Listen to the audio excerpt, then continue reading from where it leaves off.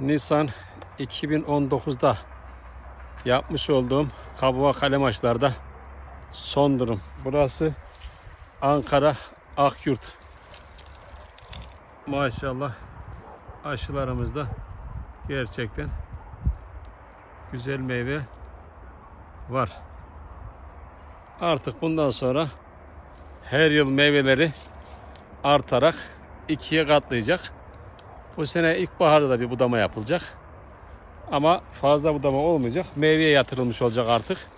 Meyveleri hasat yapılacak. Görüldüğü gibi güzel meyvelerimiz var. Bahçe sahibi Ayhan Türkçen abiye Rabbim hayırlı ve bereketli ürünler almayı nasip etsin.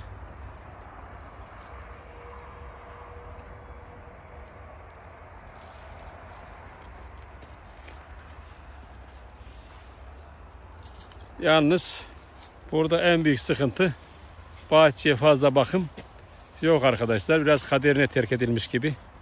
O da Ayhan abinin işlerinin yoğunluğundan kaynaklanıyor.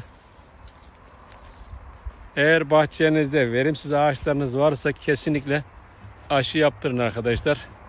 2 yıl boşa beklemiş olursunuz. Zaten aşı yaptığı sonra ağaçlar 4-5 yılda eski haline geçiyor ve hem de verimli bir ağaç haline geliyor. Hoşça kalın, sağlıcakla kalın. MS Tarım'ı takipte kalın.